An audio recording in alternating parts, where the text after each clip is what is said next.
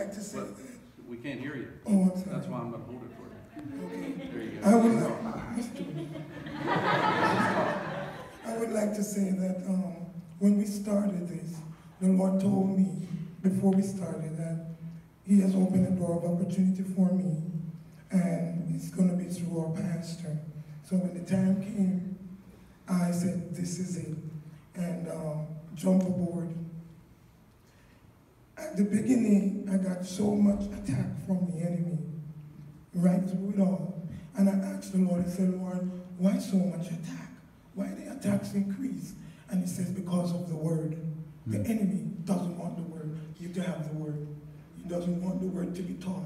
He doesn't want you to be aware and come to know what God has said and the blessings that comes with it.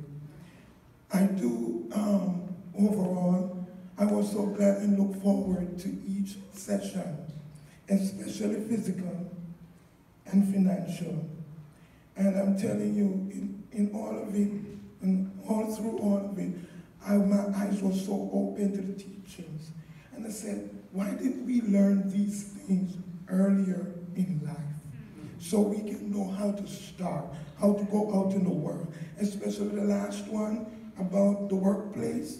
And I said, this would be very good for students to get all these kind of teaching so that when they go out in the workplace, they will know how to operate, know how to be godly, know to um, give less problem, and, and just cooperate with the Lord. I got so God conscious of the teachings that it affects me in such a way that every decision and everything or every thought that I do now, I'm so aware that I belong to God. Sometimes we used to say this and just rattle it off and don't think of it in the reality. Mm-hmm. You know, you just get up, put your clothes on, get dressed, and go do what you want.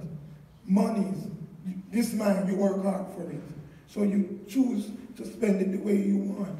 But in this lesson, I realized and learned to every detail that it is God's. I belong to God.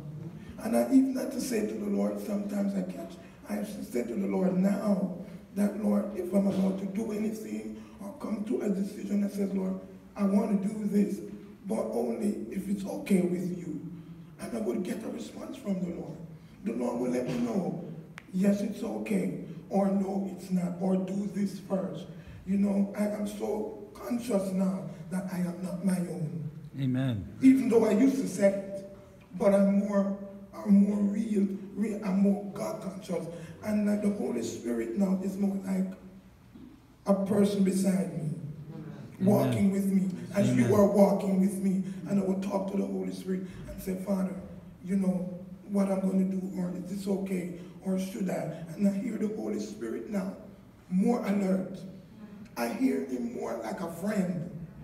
And I thank God and I thank pastors, I thank our leadership here for being close to God so that God can give us what we all need. And I'm saying, God, bring this here for such a time as this, that we need it.